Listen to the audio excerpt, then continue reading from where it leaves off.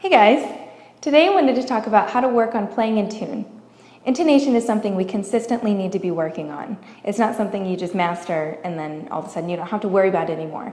No, I constantly have to be working on my intonation. And so I wanted to show you a few things that I like to do and you can incorporate this in your own practicing as well.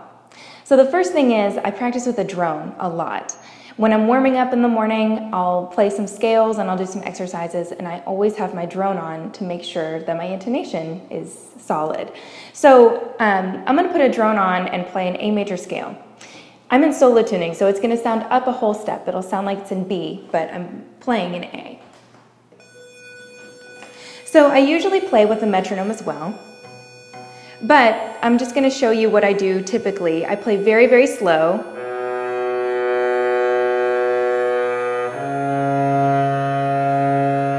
And take as long as I need to adjust each note.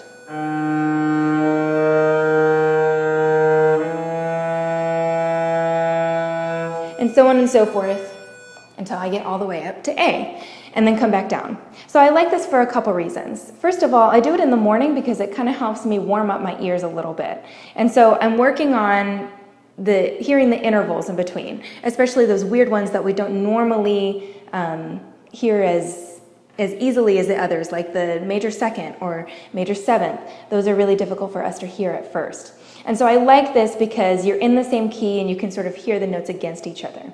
And it also helps with your muscle memory. If you're playing the same scale for, say, a week at a time, then you sort of get used to where the notes are. And then over, over time, when you play an A, you know where to put your hand. So the second thing I do is I constantly have a tuner on.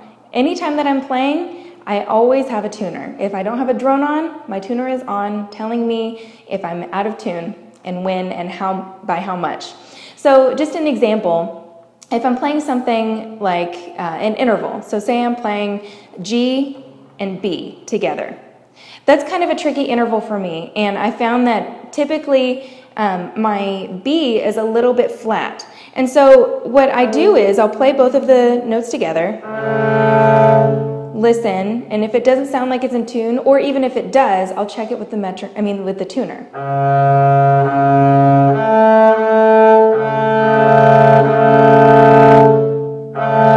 And then sort of listen a few times to hear and make sure that I have it in my ear. And then repeat until I have it and I can easily just grasp it once I get to those notes. So it's nice because it's a visual for when you don't have the drone or when you can't really use the drone and it keeps you in check. It doesn't lie at all. So it's nice to have that there. Uh, another thing I like to do is I record myself and listen back. So sometimes you might miss things. I guarantee that you will miss things, and you might not be able to hear if something is out of tune when you're playing, or you might just skip over it by accident. So if you record yourself, then you can sort of hear what you missed, and you can also measure your tendencies. So sometimes, um, let's just say, let's take the note F sharp. Sometimes if I'm running up here, I tend to overshoot and go a little bit too far up into the G. And so I might not realize that when I'm practicing. But if I listen back on a regular basis, then I'll be able to say, oh, okay, normally I overshoot there, so I need to aim a little bit lower. And you might be able to hear patterns in your playing, like um, whenever you play at the heel, you're always a little bit flat, things like that. So it, that just helps to keep you in check. Finally, this is my favorite and also the most brutal, but I like to play with MIDI files. So I take passages of my music and put them into Finale or another kind of music software and turn it into a MIDI file. And then I play along with it in my practicing. So I'll maybe put one headphone in, play along with it. And just like the tuner, MIDI files do not lie. They are always in tune.